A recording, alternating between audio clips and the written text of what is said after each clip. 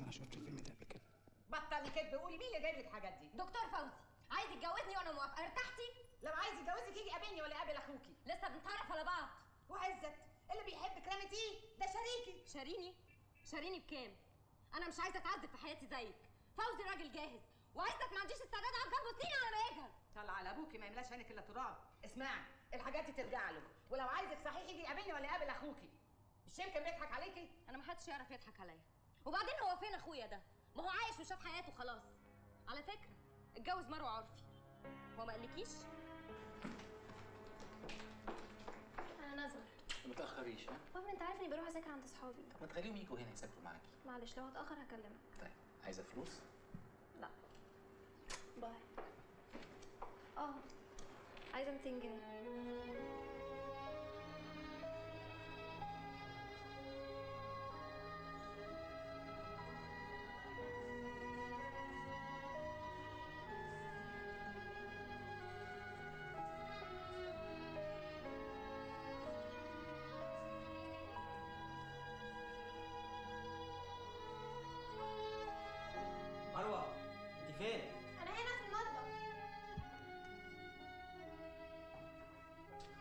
شوف مروه طبخ لنا إيه النهارده؟ مفاجأة هتاكل سوا بكرة اسمها إيه بقى المفاجاه دي اسمها فاهيتا. هو أنا عليكي تعملي فيا كده برضه إيه العك اللي أنت بتعمله ده؟ حلو قوي عارف مامي كانت بتقول الست عمرها ما تحس إنها متجوزة إلا لما جوزها ياكل من إيدها. بجد؟ مم. كانت بتقول إيه كمان؟ روح حضر السفرة الاكل هيتحرق. ألو؟ إزيك يا إيهاب أنا رمزي. أيوه يا أستاذ رمزي الحمد لله على السلامة. أنا عايز أشوفك النهارده الساعة 8 النهارده الساعة 8 تمام. هستناك. تحت أمرك. سلام.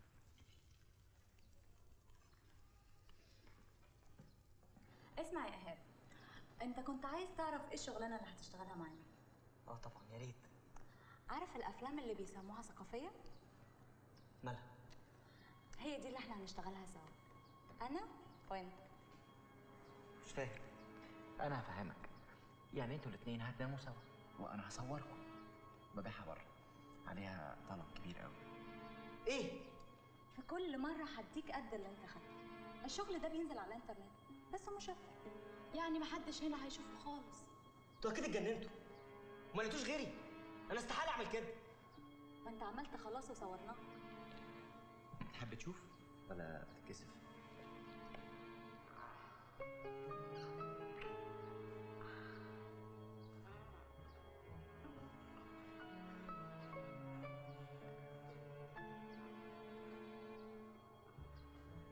إزاي تعملوا كده؟ دي جريمة. ليه بتقول كده؟ ليه ما تقولش ان ده بيساعد الناس ويعلمهم علشان يقدروا يحبوا بعض أكتر؟ أكيد اتفرجت على أفلام زي دي قبل كده. عمرك فكرت إنها جريمة؟ شوف يا ايهاب باختصار يا حبيبي هم 3 4 شهور. ومش هسيبك إلا لما يبقى عندك شقة تمليك وعربية وفلوس في البنك. أنا هوديكم في داهية. هبلغ البوليس. وهتقول لهم إيه؟ غصبنا عليك تنام معاها بالعافية؟ أنا قلت لك هم شهرين وتبقى عايش ملك ويبقى معاك فلوس كتير. مش عايز فلوسكم الوسخة دي. أنا هرجع لكم ال 10000 جنيه اللي خدتهم. قصدك ال 100000 جنيه؟ أنت ماضي على وصل أمانة ب 100000 جنيه. إيه؟ قصدك مضيت وأنت مش داري؟ كنت ملهوف على فكر كويس يا إيهاب. دي فرصة كبيرة. ولو مش عاوز اديني يا سيدي ال 100000 جنيه واديك الشريط بايديا أنت إزاي تعمل فيا كده؟ وأنا قلت لك تروح تنام معاه. عايز تقنعني إنك ما كنتش تعرف القرف اللي هم بيعملوه. أعرف منين؟ أنا شغال عندها دي جي.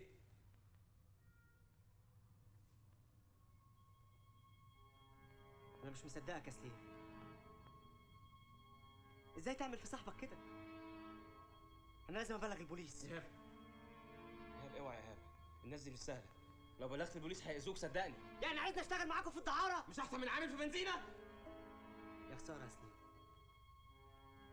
ما كنتش أعرف إنك بقيت قذر كده.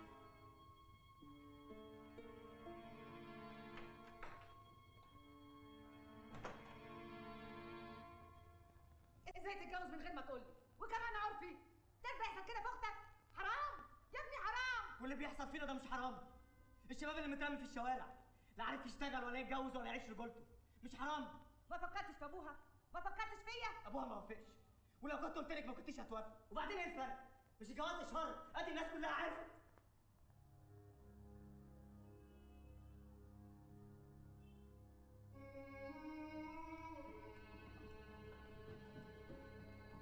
أنا كنت عايزة أفرح بيك بس.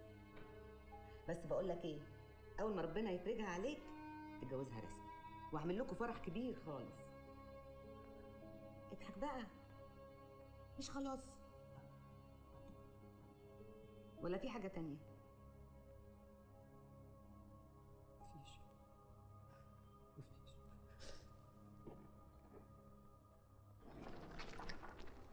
إيه ده عزت إيه اللي جابك هنا؟ مش في ميعاد عشان اوصلك الجامعة؟ حق عليا اللي عايز ارحبك من زحمه المواصلات ما قلتليش إيه رأيك؟ حلو اللبس ده؟ حلو قوي بس أنا مستعجلة. إيه رايحة فين يا حنين عندي مشوار كده. لا مشوار إيه؟ ده أنا عازمك على فنجان قهوة من 30 جنيه في الاوتيليات معلش يا عزت خليها مرة تانية. مالك أنت؟ حاسس إن أنت متغيرة. ولا متغيرة ولا حاجة. عادي يا عزت بقول لك عندي مشوار مهم. عادي. bye bye هبقى أكلمك.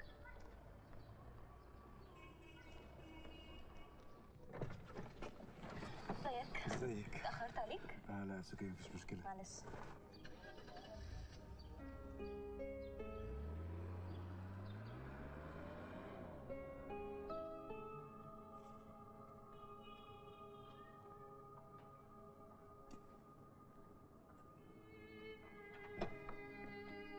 كده برضه حنان تعملي فيها أنا كده؟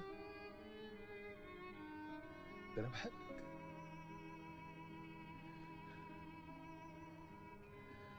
بس انت برضه معاك حق. أنا اللي طلعت من توبي.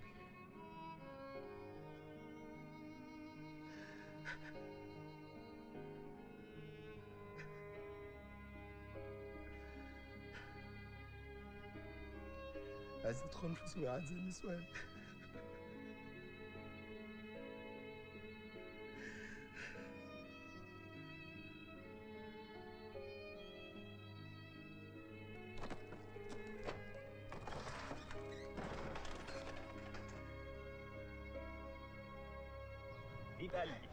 خضتني جبت فلوس يا قمر؟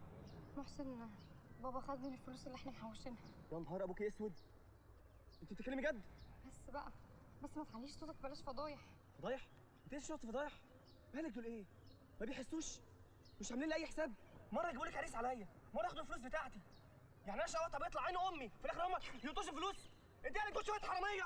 بس بقى عيب كده كفاية بقى حرام عليك أنا هي منك ولا منهم؟ خليها تكلفعوكي أنا تعبت.